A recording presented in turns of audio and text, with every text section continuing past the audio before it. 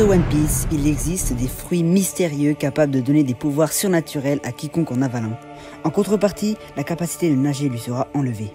Ces fruits sont détenus par des personnages importants du monde de One Piece, qu'ils soient bons ou mauvais. Vous l'avez sûrement deviné, aujourd'hui on va parler des fruits du démon dans cette vidéo.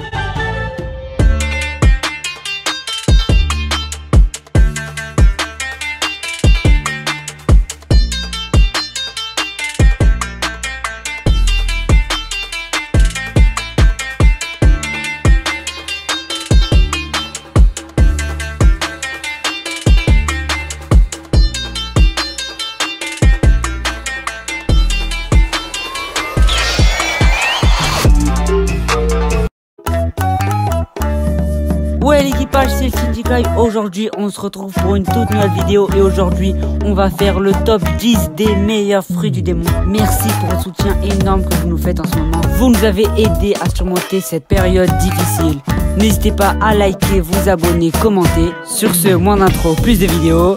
Bonne vidéo Top 10, le Kage Kage no de Giko Moria.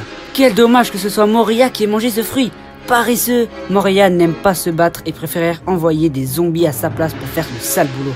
Mais son fruit des ombres a un potentiel tellement grand. Dans les mains d'un vrai combattant, le Kage Kage no Mi pourrait offrir une force surpuissante en ingérant les ombres de ses adversaires. Et ainsi battre n'importe qui lorsqu'il y a du soleil puisque sans ombre, il se désintégrerait.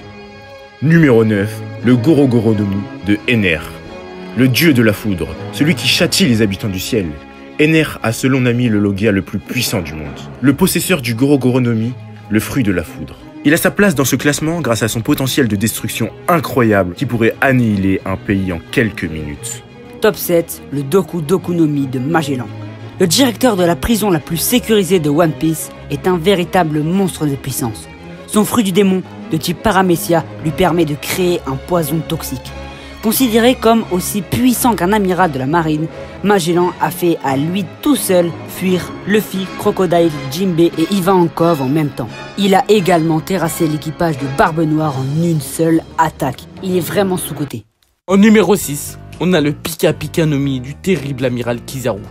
Un amiral est la plus grande force de frappe de la marine. Ce dernier doit alors avoir une puissance phénoménale et un fruit du démon hors du commun. C'est le cas de Kizaru, fruit du démon de la lumière. Personnage le plus rapide du manga, Borsalino est capable de faire énormément de dégâts avec ses attaques. On se souvient du carnage à Sabaody ou lors de la guerre à Marineford. Top 5, le Tori Tori no Mi de Marco. Le nouveau capitaine de l'équipage des pirates de Barbe Blanche possède l'un des pouvoirs les plus puissants de One Piece. Son fruit de type Zoan antique lui offre également une capacité des Logia ou des Paramecia. Marco a également la capacité de se régénérer et de soigner ses blessures et celles de ses alliés. Un atout très important, notamment dans la guerre d'Onigashima. En numéro 4, on a le Uo Uonomi modèle Seiru de Kaido, la créature la plus puissante du monde. Considéré comme la créature la plus puissante du monde, Kaido détient le fruit du dragon, ce qui lui confère une force exceptionnelle, surtout lorsqu'il est en forme hybride. Mais outre sa force démesurée, Kaido maîtrise à la perfection son fruit et peut battre n'importe quel adversaire. Ce fruit, mélangé à un haki incroyable, lui permet d'éradiquer tout adversaire se mettant en travers de sa route. Et c'est ça qui fait la puissance du grand Kaido, l'empereur aux 100 bêtes. Numéro 3, le Guragura de Barbe Blanche. Avant sa mort, il était considéré comme l'homme le plus fort du monde. Il a notamment tenu tête aux amiraux seuls, ainsi qu'à l'équipage de Barbe Noire.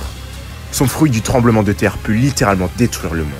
Rien que ça, et dire que désormais, c'est Teach qui possède cet ahurissant pouvoir, en plus des ténèbres. Numéro 2, nous avons le Yami Yaminomi de Barbe Noire, ou autrement appelé Marshall D. Teach. Présenté comme l'antagoniste final de One Piece, Barbe Noire a tout pour endosser ce rôle, notamment un pouvoir hors du commun, celui ténèbres. Avec ce fruit du démon, l'empereur des mers peut annuler la capacité des autres utilisateurs et même leur dérober leur pouvoir. Actuellement, c'est probablement l'un des personnages les plus puissants de l'œuvre. Et enfin, le top 1, le meilleur des meilleurs, le meilleur fruit de tous les fruits. Nous allons vous le révéler. Mais d'abord, n'hésitez pas à lâcher votre petit pouce bleu et votre abonnement si ce n'est pas déjà fait. On passe directement au top 1. Quel est le top 1 C'est bien évidemment le OP OP Nomi de Trafalgar du Waterloo. Pour beaucoup, c'est le plus puissant des fruits du démon. Le fruit du bistouri est le plus convoité au monde. En témoigne sa valeur de 5 milliards de berries, soit plus que la prime de Kaido, fait dire le pouvoir de l'eau. Ce dernier a notamment vaincu Big Mom avec Kid à l'aide du OP OP Nomi. Mais l'ancien corsaire n'a pas dévoilé tout son potentiel, puisque sa technique ultime permet de donner la vie immortelle. Eh mais il est où le Ito Itonomi Bien évidemment, le fruit de Luffy, le Ito Itonomi, est le meilleur de tous les fruits du démon. Le fruit de Joy Boy, le fruit qui sauvera les peuples de ce monde afin de laisser un sourire sur le visage de chacun. Effectivement, le fruit le plus extravagant au monde, comme dit par le CP0 au chapitre 1044, permet de se battre selon sa fantaisie en devenant un dieu, le dieu du soleil. On a décidé de ne pas le classer car pour nous c'est tout simplement le meilleur fruit, c'est le fruit de Joy Boy, c'est le fruit principal de l'œuvre. Bien évidemment que il est premier dans ce top. C'est déjà la fin de cette vidéo. D'ailleurs, est-ce que t'as remarqué qu'il n'y avait pas le numéro 8 Si c'est le cas, abonne-toi et n'hésite pas à lâcher ton petit pouce bleu. Sur ce, on te dit à la prochaine. Salut l'équipage